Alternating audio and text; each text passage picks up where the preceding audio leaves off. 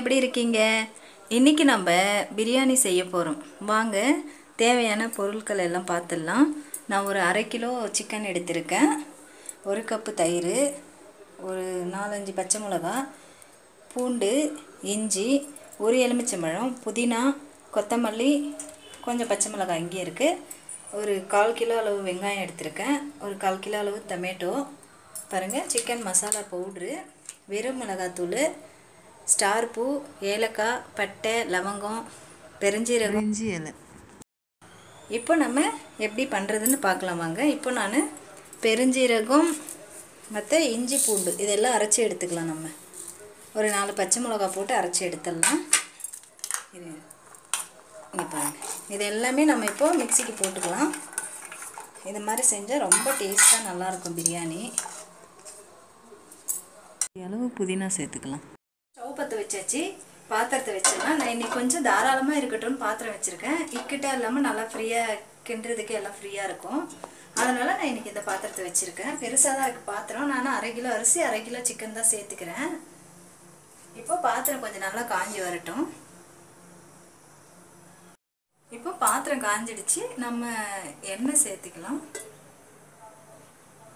நம்ம எண்ணெய் நல்லா காஞ்சிடுச்சு. இப்போ நம்ம எடுத்து வச்சுருக்கோம் இல்லைங்களா?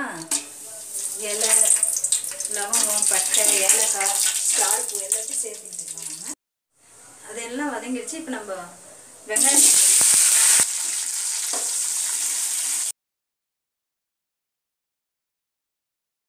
பாருங்க இப்போ நல்லா வெங்காயம் வதங்கி வந்துடுச்சு நம்ம இந்த டைமில் வந்து இஞ்சி பூண்டு பேஸ்ட்டை சேர்த்துக்கலாம்.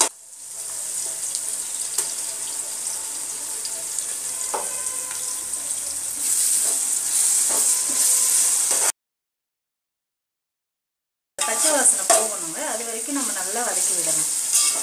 அடி பிடிச்சிரும். கொஞ்சம் கைவிடாமல் கொஞ்சம் கிண்டி விட்டுட்டே இருக்கணும். பச்சை வாசனை போகலை. நான் ஒரு ஒரு அஞ்சாறுக்கு பச்சை மிளகா முழுசாக சேர்த்துக்கிறேங்க. முழுசாக சேர்த்துக்கணும். கட் பண்ணக்கூடாது. முழுசாக சேர்த்து அப்படியே இது பண்ணிக்கணும். ஒரு கைப்பிடி அளவு புதினா சேர்த்துக்கிறேன். இந்த மாதிரி டைமில் நம்ம சேர்த்து வதக்கி விட்டால் நம்ம நல்ல வாசனையாக நல்லாயிருக்கும். பாருங்க நல்லா கிண்டி பச்சை வாசனெல்லாம் போயிடுச்சு. இந்த டைமில் நம்ம வந்து தக்காளியை சேர்த்துக்கலாம். நான் ஒரு கால் கிலோ அளவு தக்காளி கட் பண்ணி வச்சுருக்கேன். தக்காளியை சேர்த்து விட்டுக்கணும் தக்காளி சேர்த்து தக்காளி நல்லா பேஸ்ட்டாக வதங்கி வரணுங்க. தேவையான அளவு உப்பு சேர்த்துக்கலாங்க.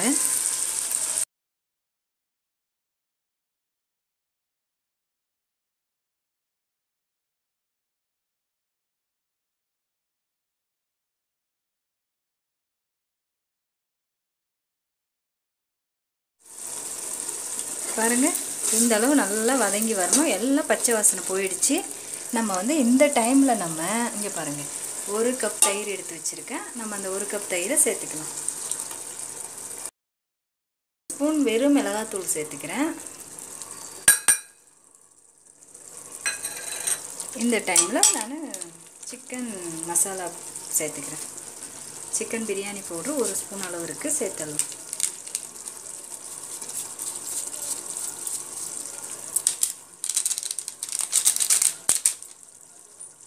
இதெல்லாம் சேர்த்து நம்ம நல்லா கிண்டி விட்டுட்டு இப்போ நம்ம சிக்கனை சேர்த்து விட்டுடலாம்.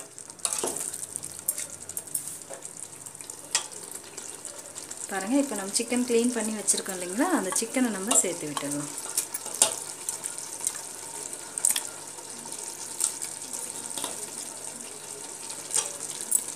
அவ்வளோதாங்க.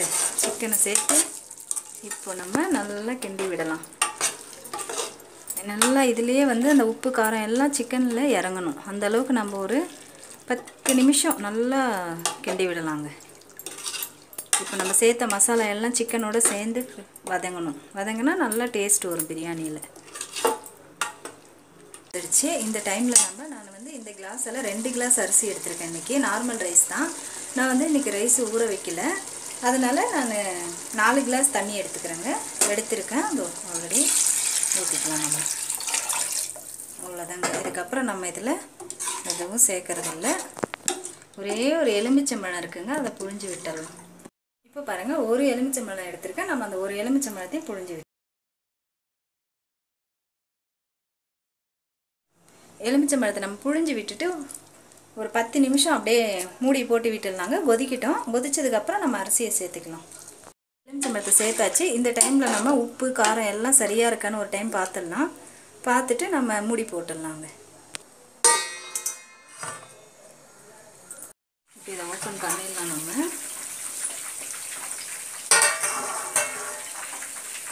ஓப்பன் பண்ணிவிட்டு நல்லா கொதிச்சு வந்து வந்திருக்கு. இந்த டைமில் நம்ம கழுவி வச்சுருக்கோம் இல்லைங்களா? அந்த அரிசியை சேர்த்துடலாம்.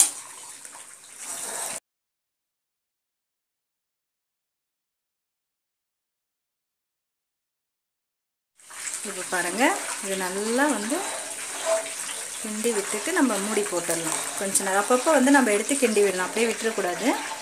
அப்பப்போ எடுத்து கிண்டி விடணும். இப்போ நம்ம ஓப்பன் பண்ணி பார்த்துடலாம்.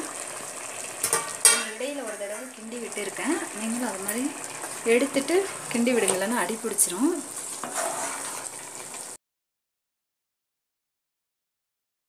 நம்ம தம் போட்டு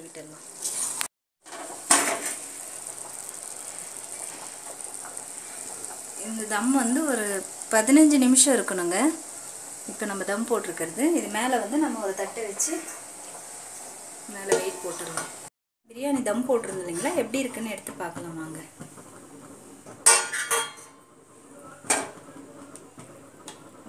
பாருங்க சூப்பராக வந்திருக்கு. எவ்வளோ உதிரி உதிரியாக செம்மையாக வந்திருக்கு பாருங்கள்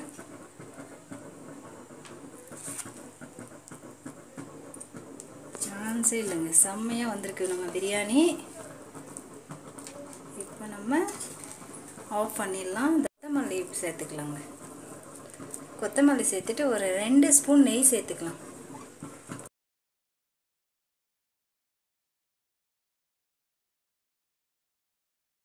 இப்போ நம்ம டேஸ்ட் பார்க்கலாம் வாங்க. சூப்பராக இருக்குது பிரியாணி. நீங்களும் இதே மாதிரி உங்கள் வீட்டில் ட்ரை பண்ணி பாருங்கள் ஓகே வே லைக் பண்ணுங்கள் கமெண்ட் பண்ணுங்கள் ஷேர் பண்ணுங்கள் சப்ஸ்கிரைப் பண்ணுங்கள் பெல் பட்டனை கிளிக் பண்ண மறந்துடாதீங்க. Okay bye